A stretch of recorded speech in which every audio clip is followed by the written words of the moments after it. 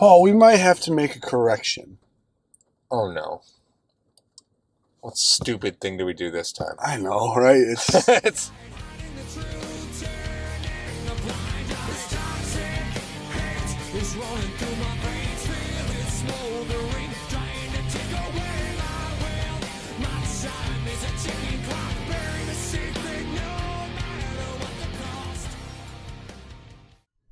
put it on the list. Well. First of all, it's raining out. Yeah. You know where it's not raining? Arizona. Yeah, that's fact. So I It never rains there. No. So guys, make sure that in the description of this video you check out Mr. Mr. Rogers Homes. Uh, Sean, the top one percent realtor in Arizona. If you're thinking of moving down to the Valley of the Sun, Sean's your guy. Tell him Paul Mario sent you. I think we made a mistake okay. because we love to hammer this point down of saying it's Leslie Frazier's defense, not Sean McDermott's. Yeah. And I see like little flashes of Frazier all over the defense when certain things happen. Mhm. Uh, can you can you just frame that? Can you just like give an Well, example? real quick? Um, because I, there's systemic. We talked about this before. There's systemic differences between the type of defense that Sean McDermott loved to run in Carolina and the Tampa two, which yes. which is what Leslie Frazier typically runs, right? Yeah. There's very very systemic differences, and uh, just just give it just give an example of of what specifically. Well, I think if you were going to talk about a guy, I mean, I mean, the the quintess for me, the quintessential king of the Tampa Two is Derrick Brooks playing Yeah. in the middle. If you were to do a draft, I mean, he, he was undersized. I mean, he was like six feet, like 230, 225, something like that. Right. But if you were to do a draft profile of Luke Kuechly versus Tremaine Edmunds and compare it to, to Derrick Brooks, he's more of an Edmunds mold. Yeah. But playing in a McDermott defense, we look at McDermott. We look at the McDermott defenses. Their bookends were guys that just would set the edge, let everybody else clean up everything. Right. You have four bodies on five. Frazier's not like that. He he likes to bring a little bit more pressure. He likes to have a little bit more heat. He likes to play a little more man. And when he runs decides to run that Tampa two, their safeties are bangers. Um, not to say that McDermott's safeties weren't, but they were always supplemental to the corners.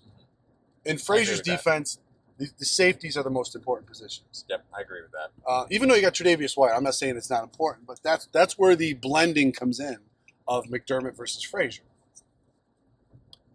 But the more moves that get made and the more of the defensive philosophies that go on, I don't know if we could say it's 100% Leslie Frazier anymore. Oh, so you think we're we're at the transition? I, I, I, mm, I mean, he should get a head coaching gig next year. Leslie Frazier, if they have a top 10 defense, we'll get a head coaching job somewhere. It was probably a bright idea for him not to take any of the jobs that were available during the Mm. playoff run. But the Bills also proposed the rule that you can't hire coaches until after the playoffs are over. Yeah. So the Bills proposed that rule to the rules committee, which I think everybody in Buffalo went. I mean, this, you know, coaches getting hired during the playoffs is not something that we've ever been a victim to. Yeah. You know, like we, it, over the past 25 years, typically that wasn't a problem for us Yeah. right? But this year it became a glaring problem, and it was a sort of it was a source of contention. Now, So, Are the sense. Bills? Did the Bills suggest that catching wind of the Vincent rule? Because if he gets mm. hired next year, does that does that come into effect, or am I wrong on no, that? you still get the you still get the compensatory picks. Two third rounders. You still get the compensatory picks. Right. So the Do we want to explain that real quick? yeah, let me get the let me get the specifics on because I don't want to misquote it. Yeah, I read it. It was the, Oh, okay. it, it got it got passed. Troy Vincent proposed a rule that if um, a minority coach was hired of a high position, offense coordinator, defense coordinator, something like that, the team that is losing the coordinator will receive two third round compensatory picks in the following draft. Right. I think it is you had to the coach had to be on your team for two years or more. Yeah. So I think there's like a time frame to it. It's not like you can hire a guy for one year, he takes a head coaching job the next year, and you get the compensatory picks. Yeah, but there was some some backlash in it for those of you that want to look it up and, and see it.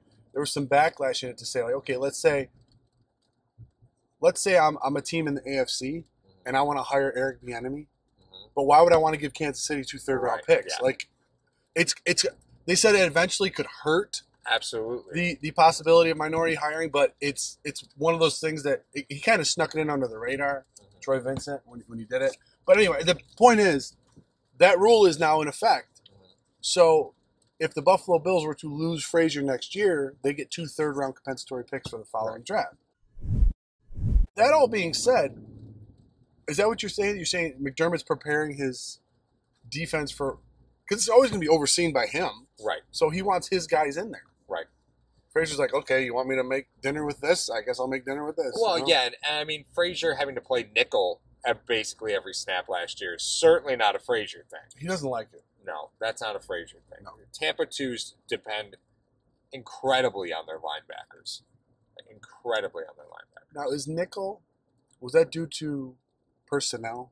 I think I, I don't know, Mar. Like it, you look at college, right? Yeah. And when do you see college run twenty one personnel?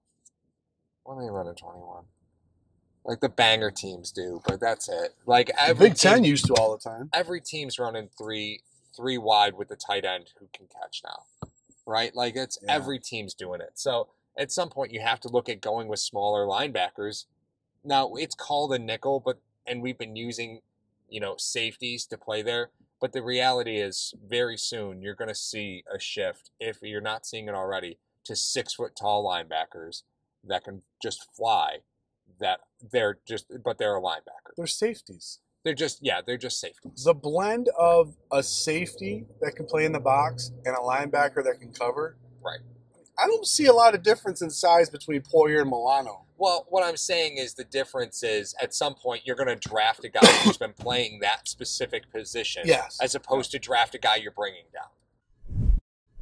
I don't know, Paul. I, mm, I don't, uh, mm, mm. why do you think a lot of teams like those wide receivers that used to be quarterbacks? Because they see the field differently. Because Buffalo's definitely on that list. Transitioning a guy from safety who happens to be a little bit bigger down to linebacker, he's already seen the entire field all the time. Mhm. So if you bring him closer to the action, he can he can recognize it faster. You think? Mm, that's a good question. Hmm. That's a good question. I like that. Um, I don't know. It's interesting. well, It's fun. So future fitting and looking at the defense from top to bottom, right? At the defensive end position, where are you? Oh my god. Like that to me is where, and again, there's Paul's right there. I know. Okay. Uh, and again, I know that's that's a totally different episode. But if you're just talking about bringing in a defensive coordinator, you're going to bring in a defensive coordinator by saying, "Oh, by the way, our defensive ends are made up of a second round draft pick and then, you know, two guys who uh, are buying retirement homes in Arizona, you know, with their signing bonus money last year." Like, why? What? What about that is appealing to you? Like, what about that is fun? Like, I'm looking at that going, yeah, no, um, thanks, but no thanks. Well, no, I think that the discussion because it's just like you're trying to sell a house. Mhm. Maybe this, maybe John. Maybe Yeah, there we go. Um, maybe see the secondary Mhm. is your island kitchen that has heated floors, granite counters, all new Gorgeous. sterling silver. It's amazing. So you have a thirtieth pick. That's your CB two. Hyde, Poyer, and White. If you're if you're a defensive coordinator coming into that, then you're like, well, you know what? We got some water in the basement, which is your defensive ends. Okay, it's a little old. There's some, there's some, you know, there's a problem with with the drainage. In the there is, there is. But the point being is this. Okay, listen. Um, I could hire somebody, or I can get somebody that I know in my travels to fix that leak. Mhm. But this this kitchen's amazing. I'm I'm not going to find this kitchen anywhere else. I'm only going to have this kitchen for two more years. You, you know, yeah, you know that you know the the basement is like the foundation of the house, right? That's like really expensive. I understand that. However, Paul, We're I know, gonna I disagree more I the know what you analogy than we are in the episode. no, I know what you mean by the by the, the discussion where if you don't have that front wall, it doesn't matter who your secondary is. I understand that, but that's that's, that's still alluring to a defensive coordinator coming in. Yeah, But I don't I don't see a splash play for a defensive end at thirty, and even if they do, it's not going to be a guy that's going to make, move the needle for anybody. yeah. Uh, Uh, just AJ Epenesa picked what twenty some picks earlier. Mm, Is that what you're thinking? That you think what you're getting? It is the AJ Epenesa pick, 20 picks earlier. Yes. Okay. Why was he? What was he? 52, 50 something. Doesn't 50, who cares? There's one pick before J.K. Dobbins. That's what most people care about. That's one pick before J.K. I mean, if the Buffalo Bills are, are, are picking with their wallet, you know how Edmunds or not not Edmunds. Um, oh no, Edmunds too would, would eventually. Uh, Allen's contract got accelerated because he made a Pro Bowl. Yeah. to play so many percentage of the snaps. yeah, you bet, yeah, Well, you're not worried about end- yeah, never. They're never going to meet the play requirement. So just draft that defensive your end. fifth year option won't be much.